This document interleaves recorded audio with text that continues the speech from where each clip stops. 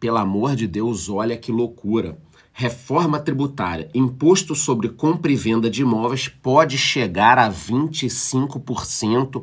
O governo quer ficar com um quarto do valor dos imóveis na hora da compra e da venda.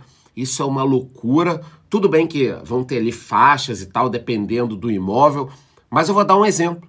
Você vai querer vender um imóvel de 4 milhões, 1 milhão vai para o governo. Você acha isso justo?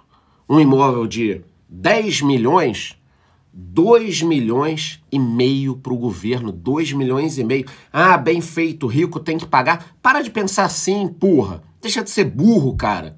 Esse dinheiro tá indo todo pro Estado, tá virando corrupção, tão roubando, tão usando em jatinho, iate, o caralho, cara. Olha, isso aqui vai travar o mercado imobiliário, tá? Só pense nisso.